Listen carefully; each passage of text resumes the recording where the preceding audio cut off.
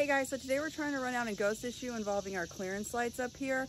They just don't seem to be working. There seems to be a short possibly in the system, but what we're gonna try first is replacing some burnout bulbs that we found and see if that works. And if it doesn't, then we're gonna have to go through, pull every single light and test them. So follow along as we try to solve the mystery. They used to work and then they started flickering and now they don't work at all. Relay location P100. This one here is P100. This is a brand new relay that we just put in and they still don't work. So now I'm trying to figure out, because we have circuit breaker one, clearance marker lights. Circuit breaker one is our center circuit, 15 amp. So that'll be this circuit right here. So what we can't figure out is why all of our other lights work, but these ones don't.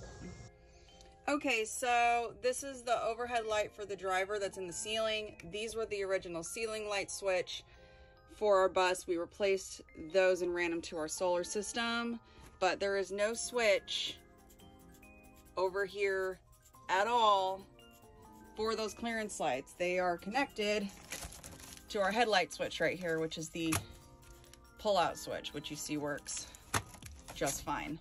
So we're trying to figure this out. So the first step was testing the breakers with a multimeter to make sure that they had power. And we did see that it read at a 13.9. So it does have power to it. So that's definitely not the issue. So from there, we went ahead and moved some of the wires around to test and see if it was a specific breaker. And we did find a bad breaker. So we moved it to a different one and we're going to try it out again. You can hear it. It's the breaker tripping. All right, so I'm about to head out to um, AutoZone to pick up some new bulbs. Um, we shall see. At Napa.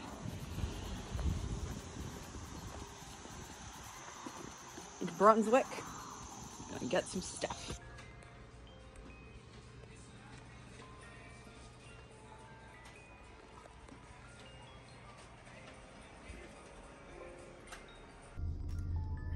Got the bulbs. Now let's head back and see if this works. Fingers crossed.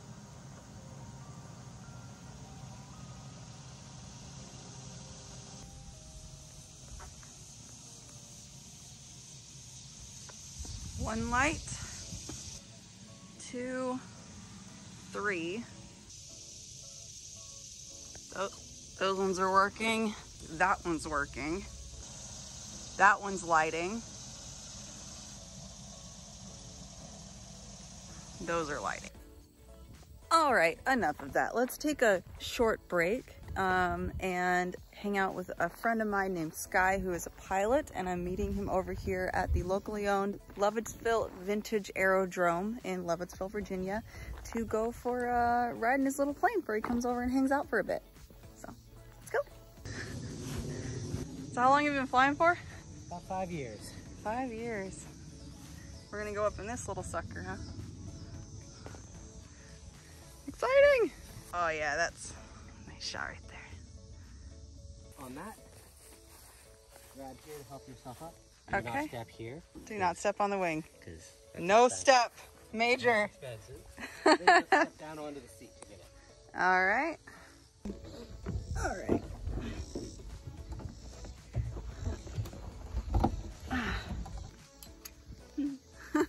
Here we go.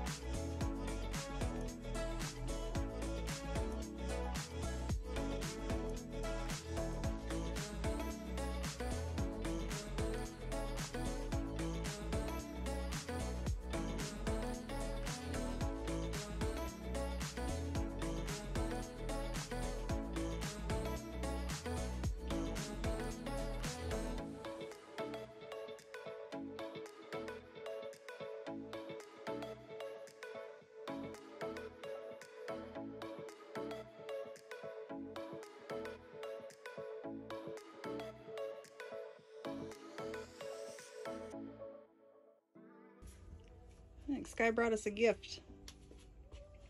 Look at this. We gotta find these people on uh, Instagram. Give them a shot. Craft cocktail in a can. And, you know, These are actually like COVID era because we could not get alcohol, so they would ship these to the house. But we bought so many, I kind of overdid it on them, so I couldn't drink Oh. them for like a year. oh my god. but they're really good. Yeah. It just took a bit. And I'm a cocktail girl, so.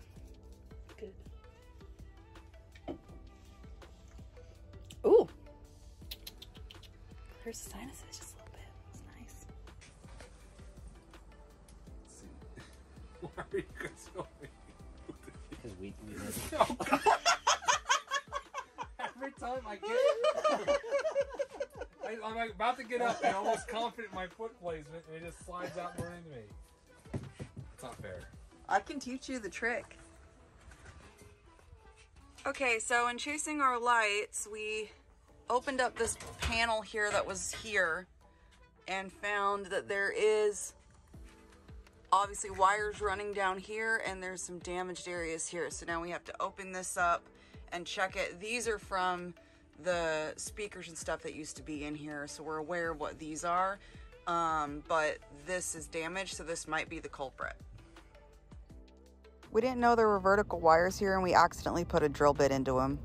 This looks like what the wires that might be the wire that messed this up. One of those. So this looks like it's a, a, a two, and one of these might be a ground that I cut through that came from that direction, or from this direction. This ground might be a, all the light grounds. So these two solenoids control power going in. So this one powers through here to here, and that's I'm going to move this one back over here. I think what was happening is through that we had a bad one, a bad breaker here that was tripping the whole system, or not letting the lights turn on. And then we had a break in here from where I drilled in, and I think once we got that fixed, then we were break we were having uh, losing power due to a bad ground, or even the power cable being cut. So what we had here, we had a bad breaker that was in this spot. We believe it was bad. It was not working. There's no charge being going through it. So it was attached to this cable, which was operating our lights. I put it on this one here because I assumed this was another 15 amp, um, but I don't think it was. This one also might be bad. So we need to probably check that one and make sure it works properly. But this one I now have it connected to. It seems to be working fine, but it is not tripping the breakers anymore. So everything seems to be working appropriately now. Okay, so those wires are all fixed. And we have the breaker reconnected. So now we're gonna try the lights.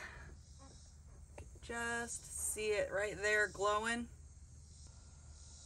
I think we fixed it. They're staying on. So what's the consensus? A, a bad breaker and a busted wire. Uh, yeah, I guess so. It seems that it's it's working off this 15 amp breaker here. I moved that cord over to the main one where that solenoid connects into, and it seems to be staying on. I still can't get this one to work, but that's a, another problem to assess. Yay! Is not tripping the breakers anymore, so everything seems to be working appropriately.